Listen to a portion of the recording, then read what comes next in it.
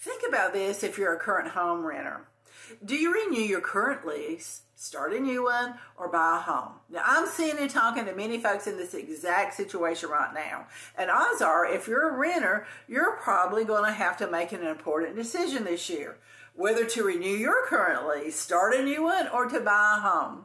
If we haven't met yet, I'm Sue Singleton, Realtor with Carolina Coast Homes Real Estate here in beautiful southeastern North Carolina. So, what is the best answer for your particular situation? If you're a um, renter, are you going to renew your current lease, start a new one, or buy a home this year? Well, before you decide, you should think about your long term plans. Now, if you take a look at this graph, it shows the median asking rent has gone up pretty significantly since 1988.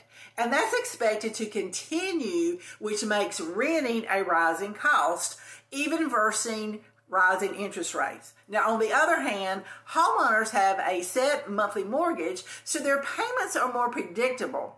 So if you're looking for more stability in your housing costs, it might be time to think about buying a home instead of renting one. Now, on top of that, homeowners also build equity, which helps grow their net worth. In fact, the average homeowner gained more than $34,000 in equity over last year alone. Now, that's money you won't earn when you're renting, right?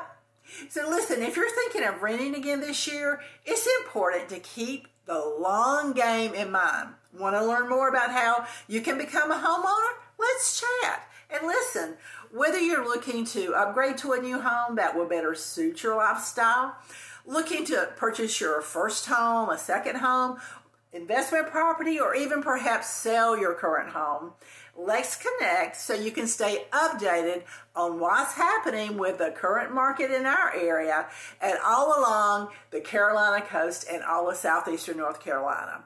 Please feel free to reach out by phone, text, or email. And if you haven't already, I would appreciate you hitting the subscribe button below, like and sharing this video, and leave me a comment. I'd love to hear from you. And remember, happiness grows here. I'll talk to you next time.